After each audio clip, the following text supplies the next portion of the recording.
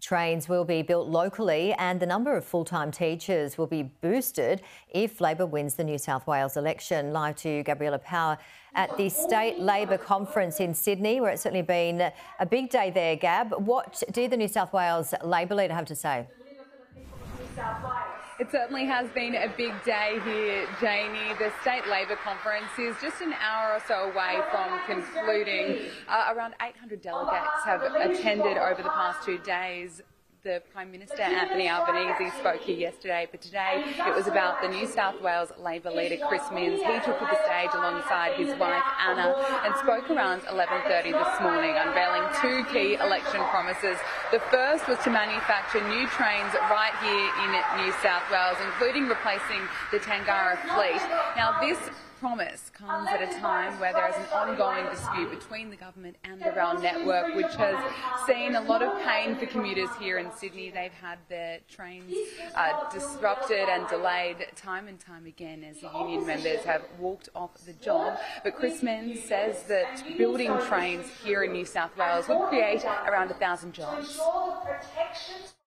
I believe this state isn't just good at building trains. We'll also be great at building trains and trams and light rail and ferries and electric buses right here in New South Wales. Minns then promised to boost the number of full-time teaching positions. He made reference to his father, John, who was a public school teacher, and he said if he wins uh, the next state election, then 10,000 teachers who are on temporary contracts will be moved into full-time positions.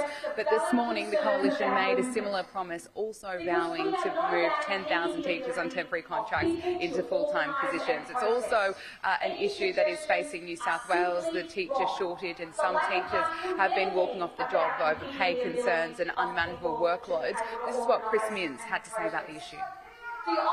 I can announce today that Labor in government in our first term will convert 10,000 temporary teachers to permanent positions in New South Wales public schools.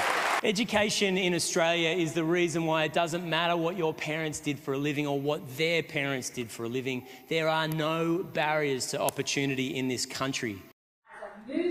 Chris Minns also repeated Labor promises to boost healthcare funding, to increase the number of nurses in New South Wales and to end privatisation. Chris Minns will be going up against Premier Dominic Perrottet during the March election. That's in 160 days' time. If Labor wins, it will be the first time Labor has won in New South Wales since 2011, Jamie. You are the ultimate professional. Thank you very much, Gabriella Power, live in Sydney.